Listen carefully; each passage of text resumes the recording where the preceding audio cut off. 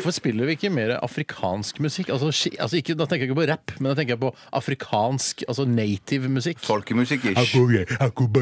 Det var egentlig der var egentlig et utdrag fra Altså det var Turbo B fra Snap. eh, og en Jeg kasta meg bare på og improviserte. Ja. Ja, jeg òg. Ibariki Afrika, Ibariki hm, hm, hm.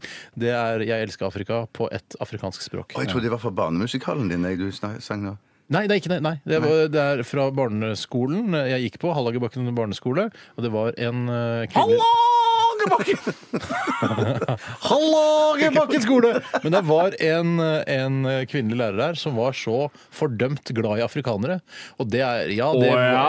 ja, fordømt glad i Afrika. Og var, Var det dro sammen med ned, hver eneste ferie dro hun til Afrika. I høstferien, da.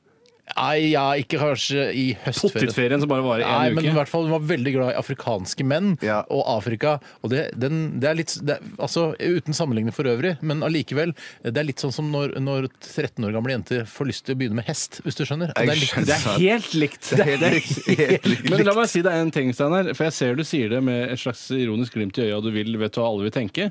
ja, nei, det- akkurat det der med penis og sånn var ikke det jeg tenkte Nei, på. men jeg vet at det var det du tenkte. Nei, det var ikke det. Nei, men, Nei, for jeg- jeg- en ting jeg må si, Ja. Det er at eh, jeg skjønner ikke hvorfor ikke flere kvinner liker svarte. Jeg synes det er rart at Kanskje ikke, de at fleste ikke alle kvinner liker- Kanskje de fleste mange kvinner sier sånn Nei, jeg er ikke en sånn svarting-lover. Det er bare noe de sier. Det nei, ikke snakk sånn! Det ikke det!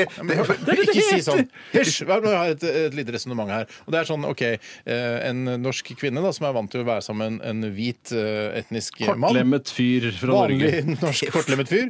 Eh, og så møter hun Usain Bolt plutselig. Saddam Usain Bolt. Eh, på, liksom på gata og, i bar overkropp eller et eller annet. Å, da. og da, da tror jeg de fleste Ja. norske kvinner b- blir litt sånn Mo i Rana eller Mo i knærne. Jeg, tror det. Stans humortoget! Men jeg, Ja, men tror, er dere ikke enig i jeg det? er jo ikke enig. Jeg er jeg, enig. jeg tror ikke det! Jeg tror ikke det Jeg tror det er noen som er, ordent, som er ekstra ordentlig glad i de svarte. Men jeg tror det er noen som er litt likegyldige. At hudfargen faktisk ikke spiller noen rolle. Eh, og så tror jeg, og så er det de som da hater svarte, som er rasister. Ja, det, det, du har de, og det er en liten gruppe, men så tror jeg at det er en svær gruppe. Så, ja, så, tror, jeg- så du har rett med det, det er noe som er veldig eh, desperat etter. Det, og så tror jeg at det er en stor bolk som når de ser som i Bolt overkropp Men så blir Mo i knæra knærne av å se Yes, svarte Jeg er helt enig med deg. Ja, det er de, Steinar. de svartelskende kvinnene. Og så er det noen som jeg mener er likegyldige. Men det som jeg leste er det som Men det er rart at de er likegyldige når de har i gjennomsnitt så mye større penis enn det hvite har. Faen så penisfiksert du er, da! Snakker bare om pikk, pikk, pikk!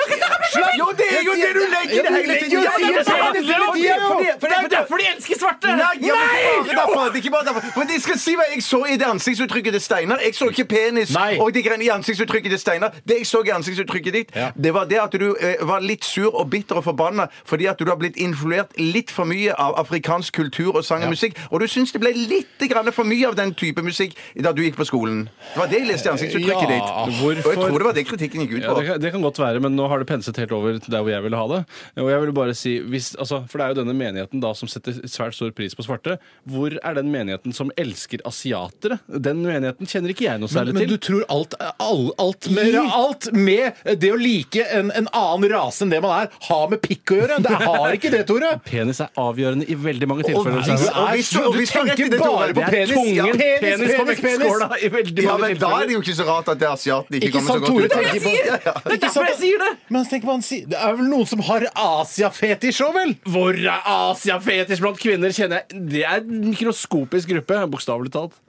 Det er sushi i så fall de er interessert i Ja, mat. nettopp, da er det mat. Jeg synes, vet du, noen ganger så tenker jeg at eh, Tore han, han, dette, han snakker for mye om penis. Du er bare naiv. Ja. Du er bare naiv. Alle Jeg- jeg skjønner tror- hvorfor de elsker svarte. For jeg mener, Fordi noe de er mer muskuløse. atletiske Ja, og det større er det! penis. Og dansere er flinkere til å Men det er danse. også et fysisk fortrinn. Det er, og pen, hvorfor det er, bare fordi det er tabu å snakke om penis? Det er men noen ganger tydeligvis skal- ikke. For det her snakkes om penis over en lav sko!